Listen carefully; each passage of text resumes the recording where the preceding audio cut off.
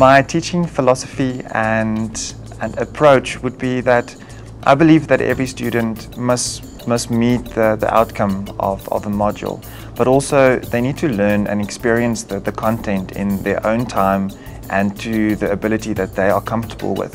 So therefore, I'm here for my students and I work with my students to achieve their goals within the set time frame.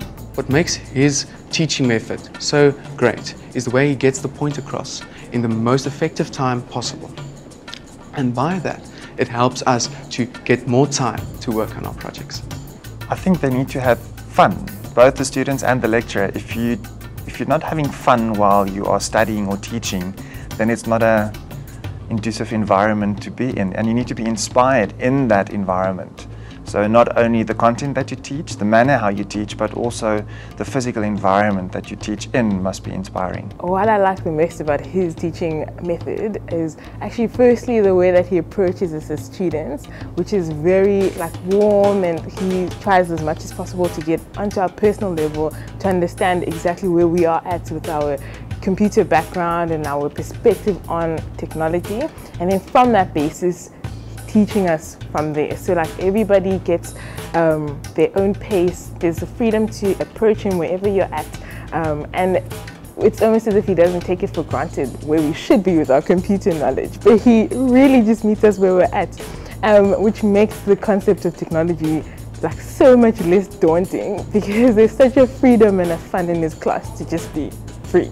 I think my relationship with the students is that they're not just a number or a surname, it's we're on a first name basis and you develop a relationship with each and every student. You know if there's problems in both financial or family or just the content wise. So you know, you read them so you know that you know if they're not performing the way they should, that there's something wrong and they can feel comfortable to come and come and talk to you and, and feel free to express their, their concerns and that I am comfortable uh, that I can approach them um, and, and talk to them about their performance and there's no hard feelings.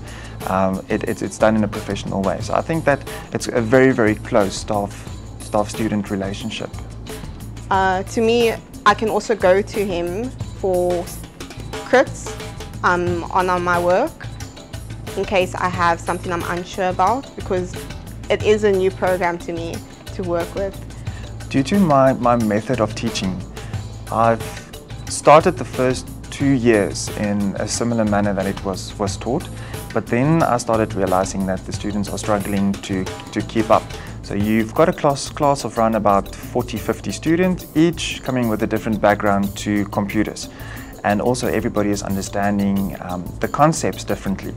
So from just a normal weekly lecture, I went into conducting workshops, so rather two, three um, intense days, but we get to the content much quicker and then we take a whole semester in, in practicing the work that we've just covered in the workshop. And I've found that to be very effective. I've tried to, to go one step further because with the workshop I've developed a study guide and a how-to booklet almost for, for every module that I, that I teach. But due to also the rapid change in technology, it's very difficult to keep a handbook or, or a set of notes up to date.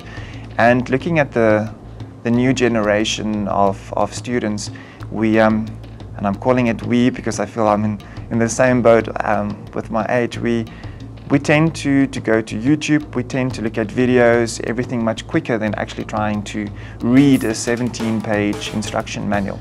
So I've taken that approach where my lectures are pre-recorded, uh, trying to work in smaller um, quantities rather than trying to teach concepts um, for, for hours and hours.